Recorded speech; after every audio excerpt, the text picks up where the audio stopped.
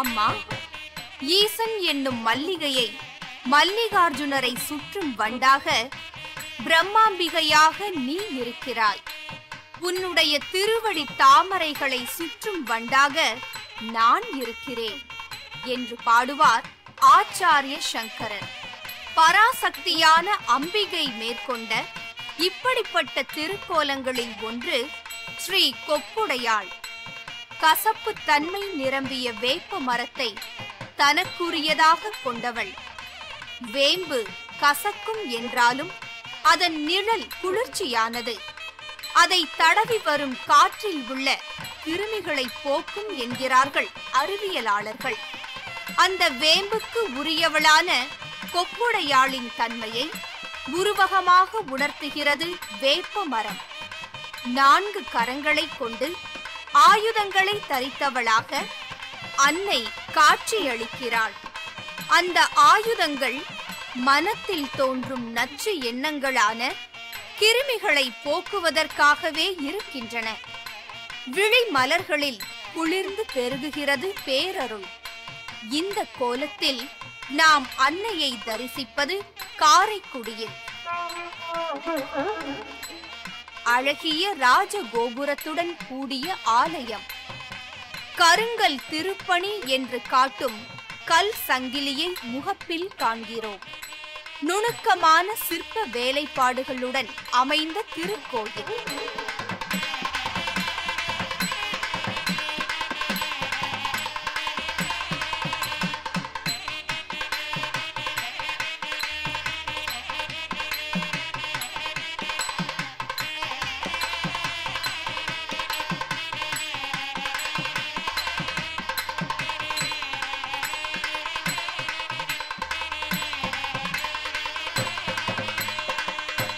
அபூர்வமாய் குதிரை மேல் அமர்ந்தபடி தரிசனம் அளிக்கும் கருப்பண்ண சாமி இடது கையில் கதாயுதமும் வலது கரத்தில் அபய முத்திரையும் விளங்க நாகத்தை மிதிப்பது போன்ற கோலத்தில் அருள் பாலிக்கும் அனுமன்.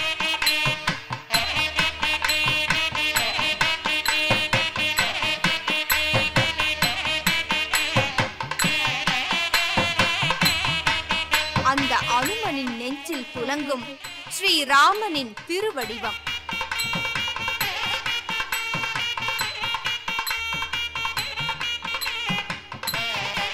ஐங்கரன் என்று கொண்டாடப்படும் விநாயக பெருமான். தண்டாயுதபாணியாக காட்சி தரும் முருகன். காசி விஸ்வநாதர் விசாலாட்சி வள்ளி தெய்வானை சகித சுப்பிரமணியர் நவகிரகங்கள் கோஷ்டத்தில் இச்சா சக்தி ஞான சக்தி என்று பல தெய்வ திருமேனிகளை தரிசிக்கிறோம். இவ்வளவு சந்நிதிகளையும் கொண்ட திருக்கோயிலின் மூலஸ்தானத்தில் எழுந்தருளி இருக்கிறாள் ஸ்ரீ கொப்புடைய நாயகி. ஐங்கரன் என்று கொண்டாடப்படும் விநாயக பெருமான்.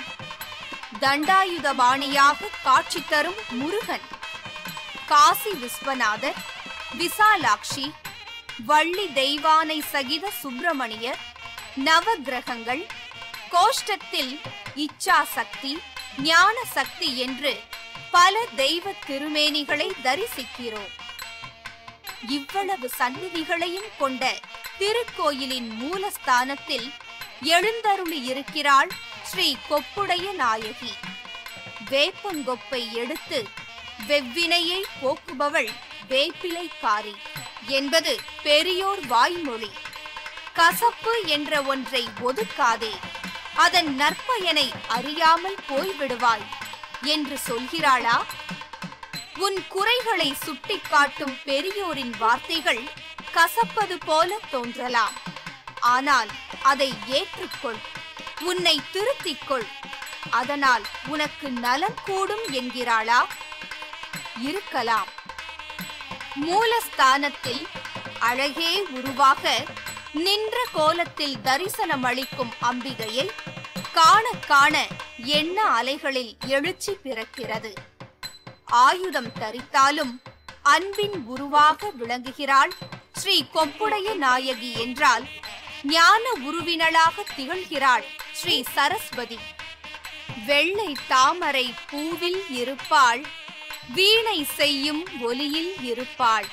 என்று மகாகவி கொண்டாடும் கலைவாணியை குன்றக்குடி அருகில் உள்ள மயிலாடும் பாறை என்னும் இடத்தில் தரிசிக்கிறோம் தனி கோவிலாக இல்லாவிட்டாலும் தமிழகத்திலே சரஸ்வதிக்கு சந்நிதிகள் உண்டு. உத்தமர் கோவிலில் ஸ்ரீ சரஸ்வதி சந்நிதி கொண்டிருக்கிறாள். கங்கை கொண்ட சோழபுரத்தில் ஞான சரஸ்வதியை தரிசிக்கலாம். வேதாரண்யத்திலும் ஸ்ரீ சரஸ்வதிக்கு சந்நிதி உண்டு. சகலகலா வள்ளி மாலை பாடிய குமரகுருபரருக்கு அருள் பாலித்தவள் இந்த சரஸ்வதிதான். கவி சக்கரவர்த்தி கம்பன் பாடிய சரஸ்வதி அந்தாதி கேட்டு ஆனந்தப்பட்டவள். கவி ராட்சச ஒட்டக்கூத்தன் என்று புகழ்பெற்ற ஒட்டக்கூத்தரால் ஆராதிக்கப்பட்ட சரஸ்வதியை கூத்தனூரில் தரிசிக்கலாம். குழந்தைகளுக்கு எழுத்தறிவு புகட்டுவது ஒரு திருநாளாகவே நடைபெறுகிறது. பள்ளி தேர்வுக்கு செல்லும் முன் மாணவர்கள் பேனாவை சரஸ்வதி சந்நிதியில் சமர்ப்பித்து வாங்கிச் செல்வது இங்கே எப்போதும் காணும் விஷயம். ஆந்திர மாநிலத்தில் பாசரா என்னும் இடத்தில் சரஸ்வதிக்கு தனி கோயில் உண்டு. ஸ்ருங்கேரியில் சாரதா தேவியாக அருள் பாலிப்பவளும் ஸ்ரீ சரஸ்வதி தேவிதான். காஷ்மீரிலும் சரஸ்வதிக்கென்று ஆலயம் உண்டு. அறிவு கண் திறக்க வைத்து ஞான அமுதம் ஊட்டும் நா மகளை. ஞான சரஸ்வதி என்ற திருநாமத்துடன் இங்கே மயிலாடும் பாறையில் தரிசிக்கிறோம்.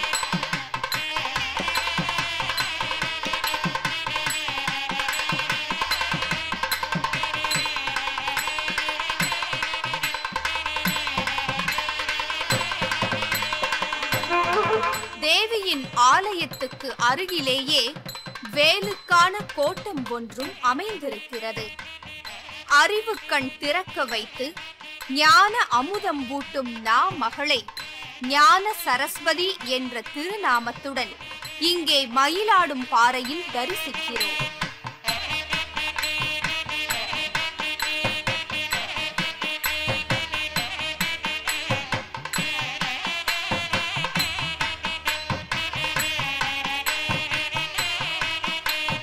தேவியின் ஆலயத்துக்கு அருகிலேயே வேலுக்கான கோட்டம் ஒன்றும் அமைந்திருக்கிறது. பழங்கால பூம்புகாரில் வேல் கோட்டம் ஒன்று இருந்ததாக சங்க இலக்கியம் சாட்சி சொல்கிறது. அதை நினைவூட்டுவது போல மூலஸ்தானத்தில் வேலை காண்கிறோம். சக்தி தன் அம்சமாக அளித்த வேல் என்பதால் அதில் அம்பிகையின் வடிவம் தென்படுகிறது.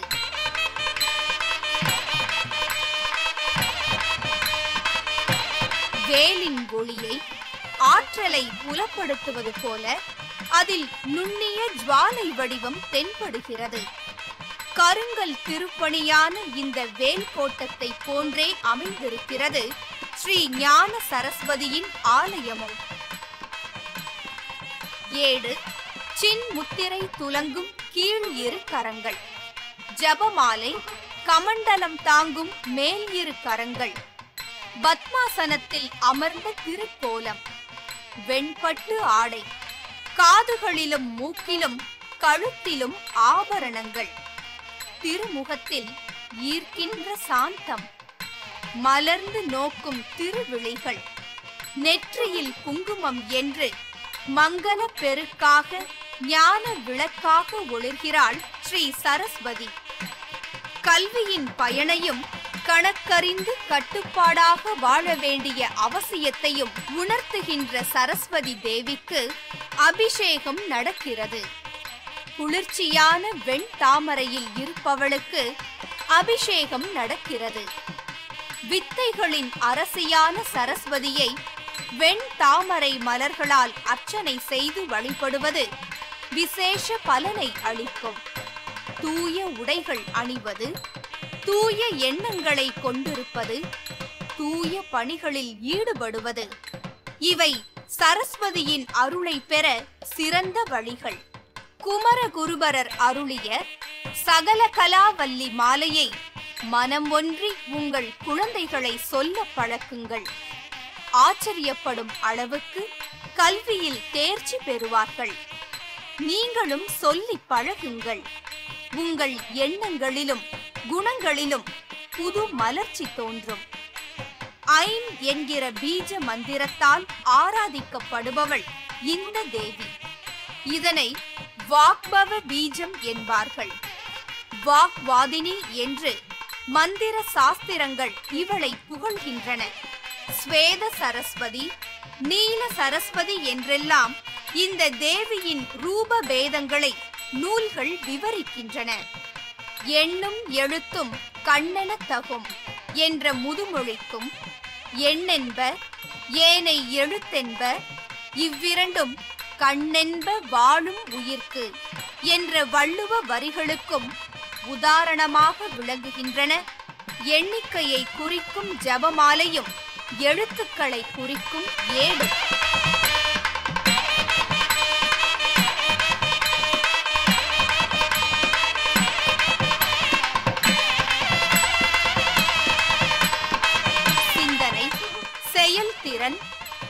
பேச்சு எழுத்து கலைத்திறமை புகழ் என்று சிறப்புகளை அள்ளிக் கொடுக்கும் வாக்தேவியை ஞான சரஸ்வதியை குன்றக்குடி அருகில் உள்ள மயிலாடும் பாறையில் நமக்காகவே கோயில் கொண்டவளை ஐ சரஸ்வதியை நம என்று சொல்லி வழிபடுவோம். நாம் மட்டுமல்ல நம் சந்ததிகளும் அறிவு வெளிச்சம் பெறுவார்கள். இது நிச்சயம்.